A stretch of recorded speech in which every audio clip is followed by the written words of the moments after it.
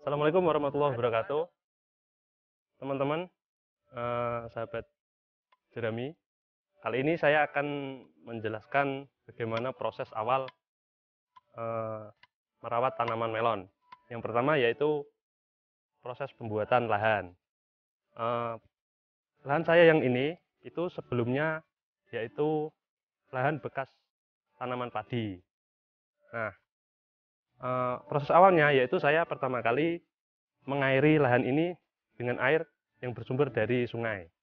Jadi lahan ini dekat dengan sungai yang ada di belakang sana. Nah, setelah saya airi, itu saya eh, bajak dengan traktor agar eh, proses pembuatan lahan itu lebih cepat. Nah, bajak dengan traktor itu lahan setengah jadi. Setelah itu, eh, sebelum dicangkul, saya taburi dengan pupuk dasar, yaitu dengan eh, SP36 dan NPK Ponska. Setelah saya tabur, eh, dicangkul dengan membentuk bedengan. Eh, sistem yang saya tanam ini sistem dengan semi telasah. Nah, jadi lebar bedengannya lebih lebih panjang. Eh, setelah itu, setelah dicangkul, kita ratakan dengan de, diinjak-injak jadi agar nanti pemasangan plastiknya bisa lebih merata. Nah, setelah rata kita pasang plastik. Eh, plastiknya ini saya memakai plastik mulsa hitam perak. Kenapa pakai hitam perak? Karena saya tanam di musim kemarau, jadi agar eh, suhu tanah bisa lebih stabil dan agar tidak eh, gulma tidak mudah tumbuh. Jadi nanti pertumbuhan akar bisa lebih cepat. Nah, setelah dipasang plastik mulsa, saya lubangi eh, untuk tempat tanamnya itu jarak sekitar 60 cm jarak tanamnya seperti ini. Setelah saya lubangi saya kasih eh, saya tugal dengan gejik setelah ditugal saya kasih pupuk dasar. Nah pupuk dasarnya saya menggunakan eh, pupuk SP36 dan NPK NPK 1616 setelah saya kasih pupuk jarak selang tiga hari itu eh, baru ditanam. Nah proses tanamnya itu eh, paritnya saya kas, aliri air saya genang air. Jadi setelah tadi proses cangkul setelah proses cangkul saya airi sampai air itu jangan sampai habis dulu setelah proses tanam baru air di dibuang atau nanti bisa habis sendiri terserap oleh tanah. Nah, setelah proses eh, tanam, jadi tanamnya saya pakai eh, lumpur yang ada di parit. Jadi agar bisa lebih mudah dan pekerjaan bisa lebih cepat. Seperti itu. Nah, eh, proses itunya apa? Semainya saya menggunakan pasir. Jadi tidak tidak memakai polybag. Karena pertimbangan saya kalau memakai polybag itu eh, tenaganya lebih banyak.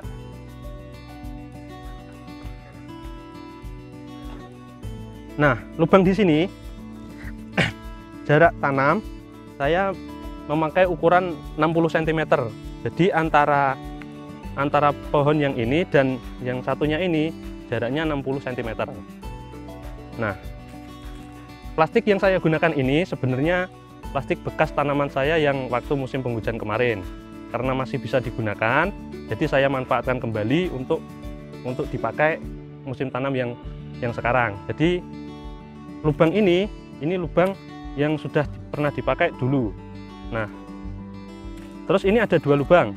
Nah, lubang yang satunya ini untuk untuk tanamannya, yang satunya ini lubang untuk tugal. Nanti tempat uh, pupuk susulan.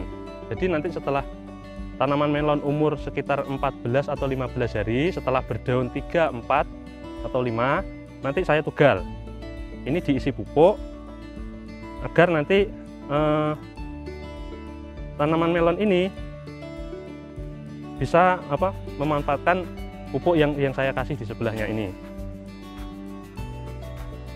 Nah, plastik di sini ini kan biasanya kalau tanah sudah sering kena air itu mudah sekali tumbuh gulma seperti yang yang di tengah ini. Eh, walaupun musim kemarau tapi kalau tanah sudah sering kena air itu gulma mudah tumbuh. Nah makanya kenapa dipakai emulsa hitam perak agar eh, gulmanya tidak mudah tumbuh dan tidak mengganggu tanaman utama yaitu melonnya. Soalnya nanti kalau terlalu banyak gulma nanti akar yang eh, atau pupuk hara yang ada di tanah nanti juga berebut dengan tanaman utama tanaman melon. Makanya kalau pakai plastik mulsa hitam perak ini nanti tanam gulmanya tidak tidak mudah tumbuh.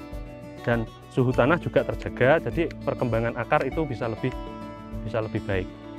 Seperti itu. Baik sobat jerami eh, setelah tadi kita ngobrol tentang bagaimana cara mengolah lahan untuk tanaman melon kali ini saya akan menjelaskan bagaimana cara eh, menyemai bibit melon. Nah teknik yang saya gunakan yaitu menggunakan eh, teknik semai langsung yaitu langsung pakai tabur sistem tabur yaitu pakai pasir. Jadi media saya itu pakai pakai talam seperti ini atau lengser bahasanya. Nah prosesnya saya menggunakan pasir yang yang agak kasar enggak, atau tidak terlalu lembut kalau kalau terlalu lembut nanti eh, akarnya tidak bisa banyak nanti. Nah setelah itu pasir saya ayak untuk bisa apa biar kerikilnya itu dibuang. Setelah itu saya kasih air agar apa kondisinya lembab. Kalau dipegang gini tangan basah. Nah ini setelah saya aduk dengan sedikit air kalau kelembapannya sudah pas saya taruh di di media ini nah saya taruh di media ini e, tebalnya sekitar 2 cm 2 cm setelah saya tabur pasir diratakan langsung e, benih yang satu pack itu langsung saya tabur semuanya. Jadi satu pack itu ada sekitar 550 sampai 600 biji. Nah, itu dalam satu nampan ini. Nah, setelah saya tabur, saya tutup kembali dengan pasir yang sama. Tebalnya juga sama, yaitu sekitar 2 cm. Jadi, pasir yang ada di nampan ini ialah tebalnya sekitar 4 cm. Nah, setelah saya tutup pasir, itu Baik, Sobat Jerami, eh, dikarenakan tadi kondisi hujan, jadi sekarang kita pindah tempat, eh, cari tempat berteduh. Nah, saya lanjutkan yang tadi, bahwa bagaimana proses untuk menyemai bibit melon. Yang Jadi, eh, melanjutkan yang tadi, bahwa setelah ditutup kembali dengan pasir, jadi tebal pasir sekitar 4 cm, eh, setelah itu ditutup dengan plastik. Eh, Kenapa ditutup dengan plastik? Agar uh, suhu udara yang ada di dalam pasir itu terjaga stabil. Jadi pertumbuhan akar itu bisa lebih cepat. Nah, setelah ditutup dengan plastik, jadi uh, nampan ini setelah tadi ditutup dengan pasir, uh, ditaruh di dalam rumah saja. Jadi setelah ditaruh, ditutupi dengan plastik uh, selama tiga hari tiga malam. Jadi setelah itu nanti di hari keempat tutup plastik itu dibuka. Nah, setelah dibuka, uh, sudah mulai berkecambah, sudah muncul uh, talon ini, bibitnya. Nah, setelah itu dijemur, jadi agar agar batang bibit itu lebih kokoh. Nah, jadi nanti biar pindah tanamnya biar lebih kuat, biar uh, adaptasi cuaca. Nah, setelah hari keempat dijemur, uh, esoknya hari kelima nanti proses pindah tanam ke lahan. Nah, jadi e, seperti bibit yang ini. Nah, ini bibit yang sudah berumur lima hari. Yang jadi akarnya sudah banyak seperti ini. Nah, nah ini akar. Nah, ini cukup banyak. Di ini nanti langsung pindah tanam ke lahan.